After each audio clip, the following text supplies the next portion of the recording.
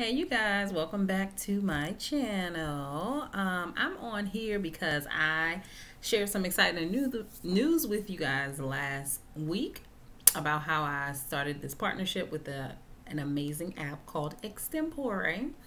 Um, well, I also wanted to show you guys how um, you could use that app when you are creating some assessments. So and the reason why I thought about this was because we all know we're in the middle of access and we're going full force and we're going to get it done before March.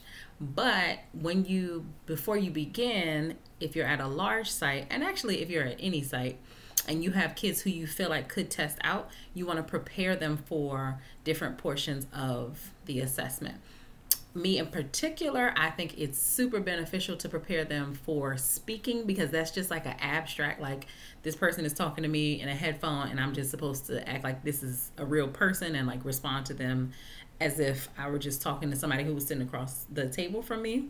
Um, so that part is uh, a tricky part. It's a little bit, like I said, abstract.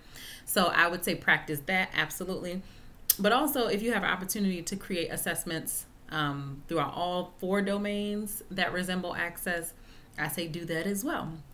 Um, but anyway, I'm just going to focus on speaking activities, um, practice activities for our students.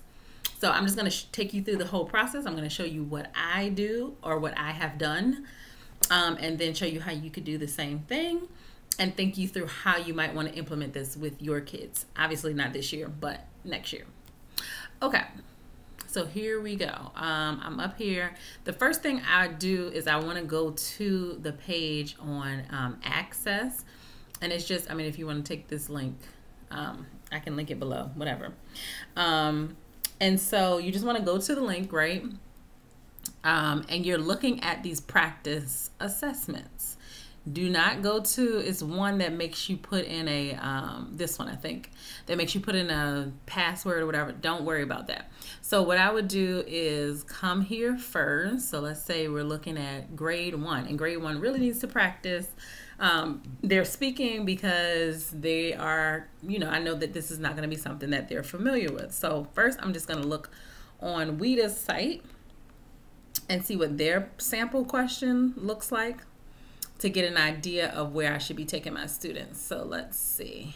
Let's talk about a story. Look at the picture. This boy's name is Pablo. Pablo and his dad are at the grocery store. Okay, cool, cool. All right, what's the question? This is Miss Kent. Blah, blah, blah. Let's see. What is the question? Okay, yeah. So, Nina, what are two things you see in this picture? So, the, the first question is just sort of asking the student to describe the picture in tier A. is asking the student to describe the picture in more detail. They hear an example or a model and then they follow suit. Pablo and his dad see bananas. Okay, I'm looking for the next question to see what level of speech they're asking for. Now it's your turn. Tell me about how Miss Kent helps Pablo and his dad. Okay, so it took them through sort of like a day at the grocery store and how, and how this uh, grocer helped the boy and his dad. Okay, so I mean, literally, it's what two questions, right? So we can take those two questions and use them as a model when we are creating our assessment, right?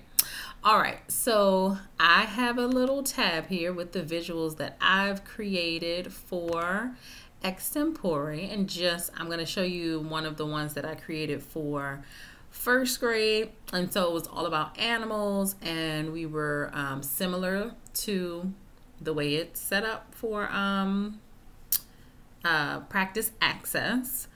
Um, i would take this picture first ask the students to sort of like describe the animals and then move into something that's more complex. So at first I'm just showing them the cheetah and the elephant and then I move into showing them all four and maybe ask them like their preference. Which animal is your favorite? So and this is just tier A. We can also look at an example of tier B and get some ideas um, from that as well.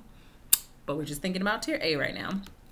So if you go to home in it in extempore, um, I'm going to just log in. Obviously, I have an account. If you do not, you're going to click here, open a free account. Um, and if your district has an account, obviously, you're going to use your um, Google information, right? Um, usually it prompts me to click on my Google information, but I don't know, maybe I've been logging into it so much that it's not prompting me to do that right now. So when you go in, and this, we could have a whole session about setting up extempore, but I digress. So I um, already have classes set up. Um, and I'm just going to hop into this class. Um, so yeah, your class houses all of your assessments. You can go over here and you can edit your class. You can make a copy of your entire class, all of the assessments in it.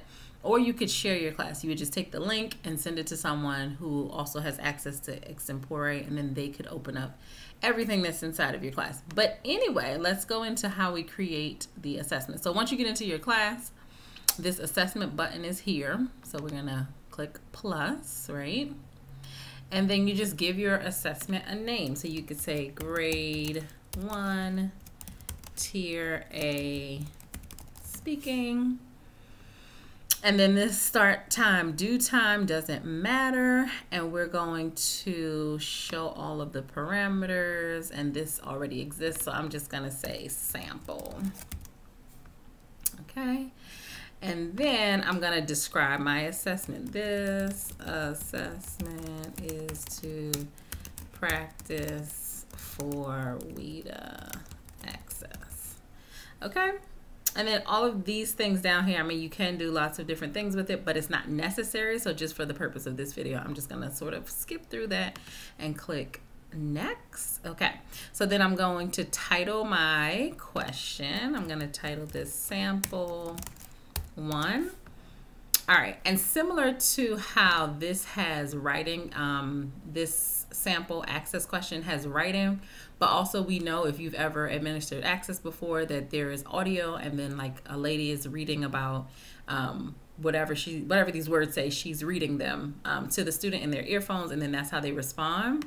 So similar because we want them to practice um, that sort of like uh, template, I guess, for answering questions, I'm going to do the same thing. So if I'm saying um, here is a picture of a cheetah and an elephant, um, I see that the cheetah has stripes or something like that stripes and a long tail can you tell me about the elephant? Okay.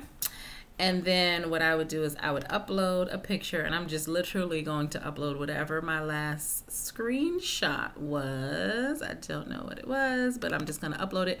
Obviously, you're going to have the screenshot of the picture that you want to go in there, right? And then once you upload your screenshot, you click on the audio button and then you click record and you read verbatim.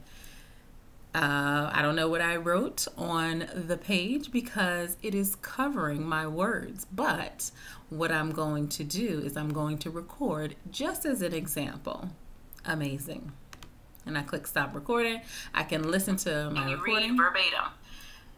Uh, I don't know what I wrote on the page because it is covering my words, but what I'm going to do is I'm going to record just as an example. Amazing. And you read verbatim. All right. And then if you say, okay, that's cool, I like that, and I read off of um, the page and it's fine, I'm going to click use audio. And then the student will have the opportunity to respond to that. Now, obviously, this was one sort of like drawback. Um, what I was noticing was when you click that audio button, it does pop up in front of the box where you wrote your text. So what I started doing was I would just take a picture with my phone and I would have my phone um, I would have my phone in my hand and I would be reading off of my phone and um, looking at instead of looking at the words. That I hope that makes sense. Basically just use your phone to take a picture. All right, so we're going to go back and then I'm going to click next because I want to save that. And then let's see, where is it? Where is it? Let's see, grade one, maybe it's down at the bottom. Yes, here it is. Okay, so and I want to view it as a student because I want to see what the student is going to see. So anytime you want it to um, to view it as a student, I'm going to click view as a student.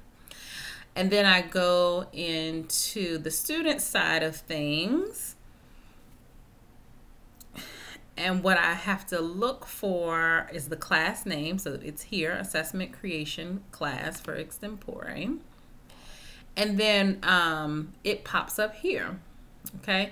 And then sometimes what I was noticing too, I think because of that due date or like the dates that I said didn't matter, it would show up here as past due. So like a lot of my assessments are here as past due, but um, they're there, right? So you can click active, past due, future, completed, whatever. If you can't find it, scroll through. Um, if you want to be super specific with your date, then and you want it to like pop up as active when you come in here, then yes, do it that way. But for me, because I'm just sort of creating these assessments that I feel like will be used um, by people who are just coming in here, then I didn't um, set it up that way. But you obviously can. So I would click there and there's that one question that we created and this is what the student would see. So they see my picture and what I love, a feature that I love about this is you can make it, or the student can make it larger. So even as they're listening to it and if they're like, wait, I can't see what, what the um, voice is saying, they can enlarge it. All right, so I'm gonna let you see what it looks and sounds like and you read verbatim.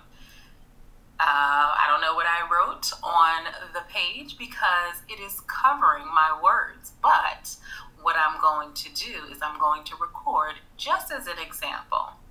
Amazing. Okay, and so obviously the recording would say, Can you tell me about the elephant? And so here's the student. The elephant is big and gray. The elephant has a really long trunk and huge ears.